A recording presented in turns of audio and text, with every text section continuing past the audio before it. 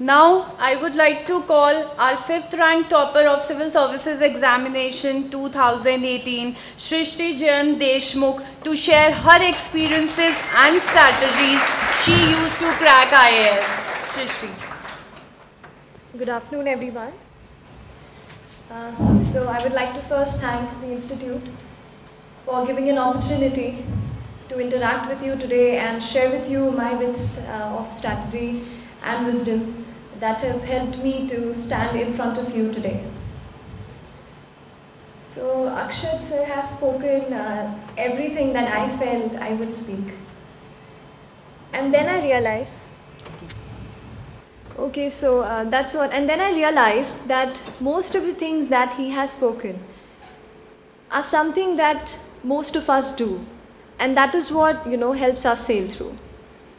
For example, the stress on notes making was really important. And uh, then he talked about attempting tests. That is equally important. So I would like to fill in some spaces which I feel, some details which can help you out after a broad overview that he has given to you. First of all, this examination is, I believe, there are two things which you should have or you should develop in the course of your preparation. The first, as he said, is consistency. You know, it's not about putting five, seven hours one single day and then other day getting bored or एक घंटा newspaper करके ख़त्म कर देना. It's not about that. It's about following the, that monotonous routine that some, sometimes appears to you कि newspapers पढ़ रहे हैं उसके बाद स्टैंडर्ड बुक्स पढ़ रहे हैं थोड़ा सा टेस्ट या फाइव टेन क्वेश्चंस अटैम्प्ट कर रहे हैं ये वाला एक जो रूटीन है, ये आपको कंसिस्टेंटली करना है। एंड आई बिलीव आपके पास एक साल है प्रिपरेशन के right you have started right now so this is a very good time to start तो consistency is the first thing which you should push yourself in to the second thing is and equally important is a believe in yourself अपने आप पर faith रखना भी बेहद ज़रूरी है। थोड़ा सा डर लगता है। आपको डर लगता है क्या इस प्रिपरेशन से? मुझे बहुत लगता था। क्योंकि मैं दिल्ली नहीं आई थी प्रिपरेशन करने के लिए और हम जब दूसरे शहरों में रहते हैं ना तो दिल्ली का बड़ा रहता है कि दिल्ली में सब कुछ अवेलेबल है, वहाँ नहीं गए तो कैसे होगा? और तो और क्लोजली किसी को देखा भी नहीं था मैंने प्रिपेयर करते हुए तो एक थोड़ा फियर रहता है। उस फियर को तो ठीक है, उसको थोड़ा बैकग्राउंड में डाल दो, अपने आप पे एक बिलीफ रखना शुरू करो कि इफ़ दीज पर्सन जो मेरे सामने आज खड़े होकर बोल रहे हैं, अगर ये कर सकते हैं तो मैं भी कर सकता हूँ या कर सकती हूँ। That faith in yourself is very important and that faith and believe will drive you every single day कि आप उठकर अपना रूटीन अपना जो शेड्यूल आपने बनाया है, वो फॉलो कर रहे हैं। So focus on consistency and believe Now moving on to uh, some little bits or details of the preparation. I focused extensively on current affairs based preparation. जैसे कि ऑल्सो मैंशन कि कुछ भी जो भी सिलेबस हमारा है उस हर एक टॉपिक का एक स्टैटिक पार्ट है और एक डायनामिक पार्ट है। तो करंट अफेयर्स के बेसिस पे आप कैसे कर सकते हैं? I just give you an example now there is the cyclone Fani that came right in Odisha suppose you are making notes out of it and uh, अगर साइक्लोन आ रहा है उसके टेन डेज़ पहले से यू हैव आर्टिकल्स मैंशनिंग की this is happening ten days after that you have articles on it की what happen what was the impact तो उसको आपको अलग अलग एंगल से एनालाइज करना है. जैसे and this you will get it when you will study the previous year question papers so इसी एग्ज़ाम्पल को आगे बढ़ाते हुए टेल यू कि जैसे साइक्लोन फोनी का एक जोग्राफिकल एस्पेक्ट है राइट right? कि साइक्लोन कैसे क्रिएट होता है, वो फिर लो प्रेशर कंडीशंस हो वो सब जोग्राफिकल पार्ट आ जाएगा। उसके बाद दूसरा पार्ट इसमें आएगा कि इट इज़ अ डिज़ास्टर तो डिज़ास्टर मैनेजमेंट में कैसे करना है? Then there will be articles की एडमिनिस्ट्रेशन ने कैसे इस पर रिफ्लेक्ट किया, कैसे प्रिपेयर किया। तो कोई भी इशू जब आप प्रिपेयर कर रहे हैं, उसके सारे एस्पेक्ट्स को कवर करके अपने नोट्स बनाइए। जब आप ये करेंगे तो उस एक इशू से जो भी रिलेटेड आपको क्वेश्चन पूछेंगे you will be able to answer that. And uh, ये current affairs का कर लिया Again, when you are reading the static portion of say geography, वहाँ पे when you are studying की cyclone uh, how do, how does it form what kind of cyclones are there वहाँ पे again refer to your notes on cyclone Fani so the entire thing gets connected ऐसे ही अपने mind में try to interconnect the different topics that you read and the different topics that are given in the syllabus. Uh, so this is one thing. Another example, uh, recently or last year there were a lot of articles and I'm sure they are coming even now, the, uh, with respect to the working of parliament.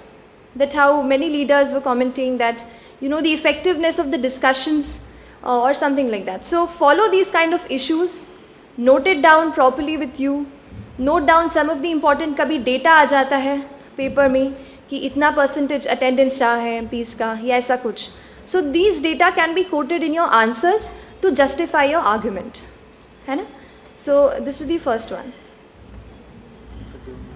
So this was about uh, note making uh, with related to current affairs and how to link it with your static part.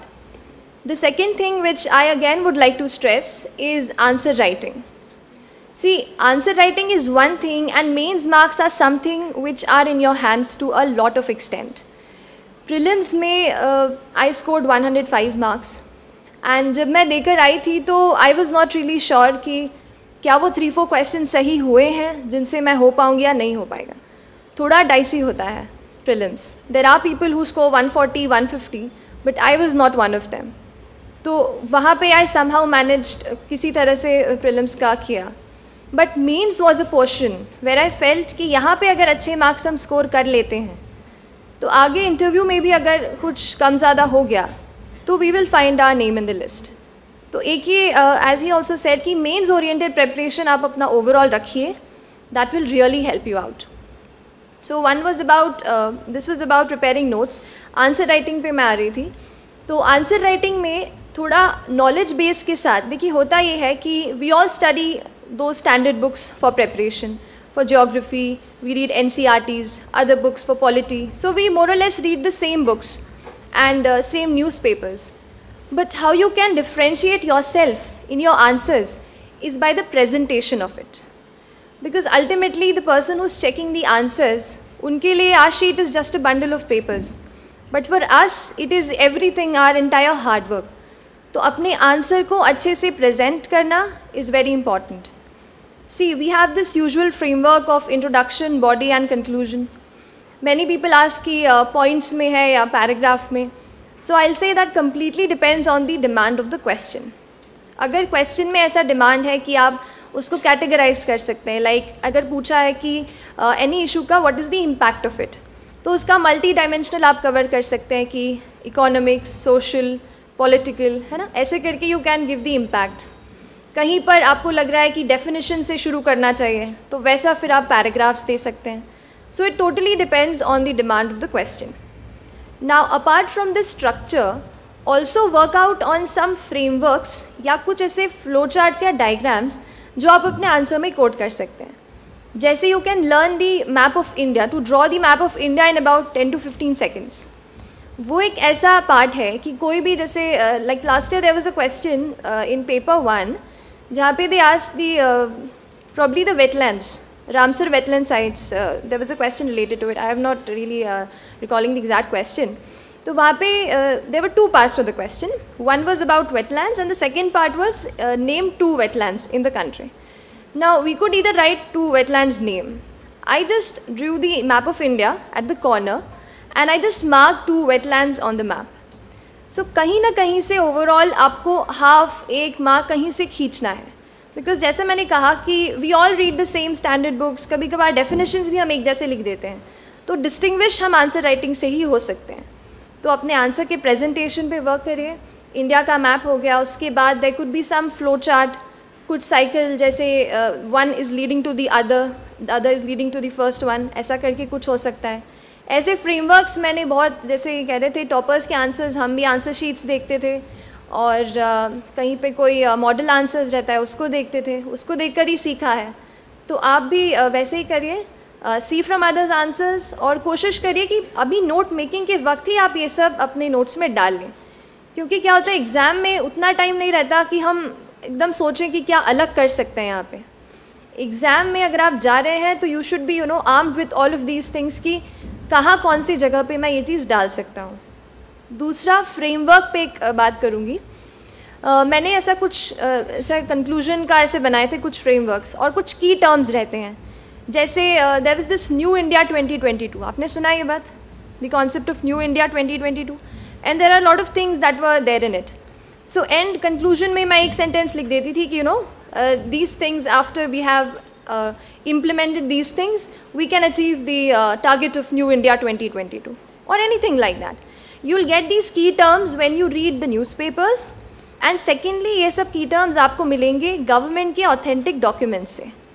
अब सबसे अच्छा document जो अभी आ, मतलब मैंने पढ़ा था वो था नीति आयोग का थ्री ईयर एक्शन एजेंडा वो जो डॉक्यूमेंट था उसमें जनरल स्टडीज़ पेपर टू और थ्री से रिलेटेड इतनी सारी चीज़ें हैं so if you refer to it कुछ जैसे फॉर्डर है कुछ अपने आंसर्स के लिए की टर्म्स हैं वो सब आप वहाँ से डिराइव कर सकते हैं and you can directly use it in your answers और आंसर uh, राइटिंग में ऐसे ही कुछ uh, डालते रहिए जैसे किसी कमिटी की रिपोर्ट आप बता सकते हैं कि this committee was set up जैसे फॉर दी प्रिवेसी और part the B N Sri Krishna committee was constituted you can quote the name of the committee then something some indices are they जैसे we have world economic forum जो कई सारे industries निकालते रहते हैं उनमें India की कोई रैंक है वो आप डायरेक्टली आंसर में तो इससे क्या होता है आपका जो आर्ग्यूमेंट है वो सब्सटैंशिएट हो जाता है है ना? तो these are the things you can use to improve the quality of your answers and फिर test series is very important they help you in following in discipline और वेरीफाई um, भी हो जाता है। कई बार ऐसा होता है हम पढ़ते बहुत सारे हैं but we really don't know कि हमें क्या याद है। और वो तभी पता चलेगा जब आप आंसर्स लिखेंगे। क्योंकि तब लिख के यूल गेट अ फील कि कितना दिमाग में गया है। तो आंसर ज़रूर लिखिए। मेक इट अ पॉइंट कि two three answers on a daily basis you have to write and for preliminary exam I would say कि अभी से कुछ five question five six question keep solving every single day क्योंकि उसका एक अलग uh, तरीका है।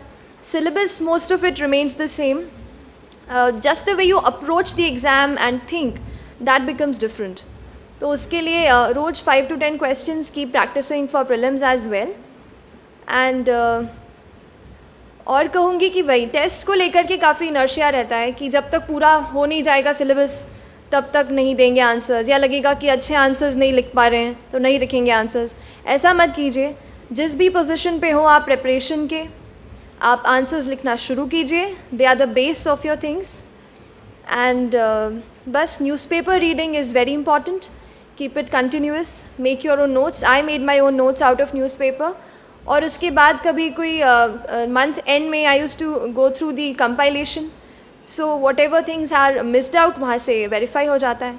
लेकिन when you make your own notes out of the newspaper especially of the editorial section तो आपकी खुद की अंडरस्टैंडिंग बहुत बढ़ जाती है उस इशू को लेकर के।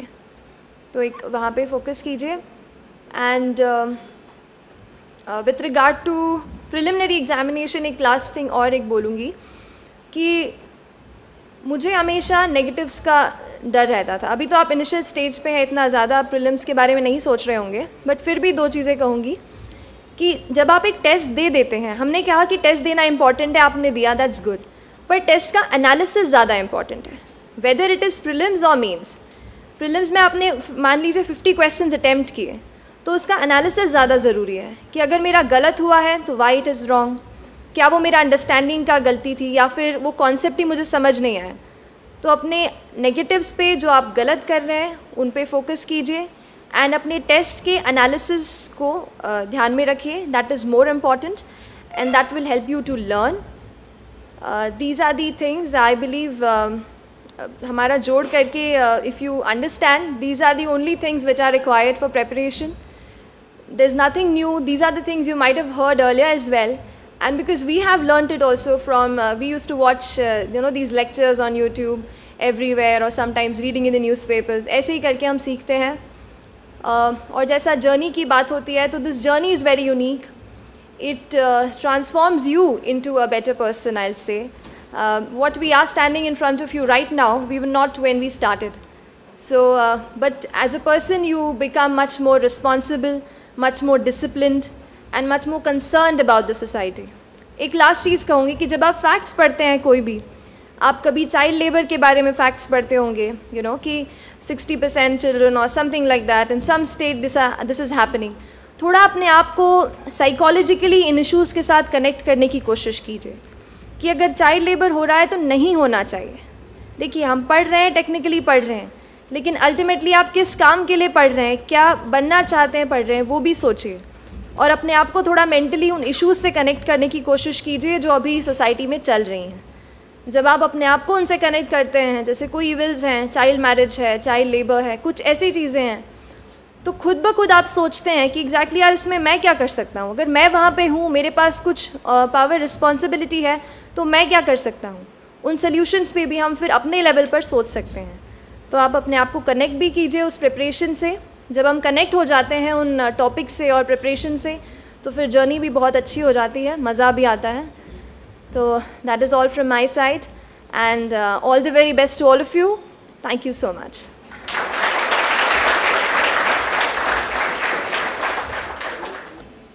Thank you so much, Rishti. I'm sure your words and ways will work as a ray of light for our students.